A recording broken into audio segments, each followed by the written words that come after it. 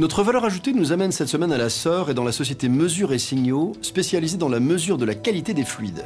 Elles ont développé ensemble une sonde pour la surveillance des eaux de baignade. Regardez.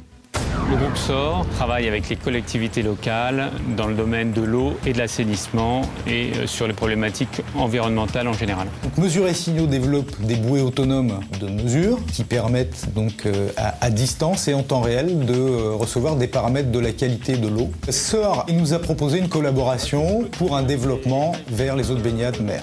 Mesure et Signaux conçoit et réalise les balises Aquamsus. De son côté, SOR a en charge de récupérer analyser les bases de données et les exploite dans le cadre de la surveillance de la qualité des eaux de baignade. La bouée Aquamesus mesure un certain nombre de, de paramètres qui vont être par la suite transmis par réseau cellulaire et donc ça permettra en fait de récupérer en temps réel et de déduire la présence éventuelle d'une pollution.